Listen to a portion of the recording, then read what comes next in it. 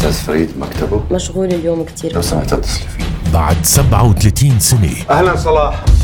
إجا وقت الحساب. أنت عشت حياتك وكملتها أنا راحت حياتي ودمرتها. آخر الليل. بحبك وسام رح خليك مبسوط كل حياتك. يوميا بعد الأخبار على الام تي في.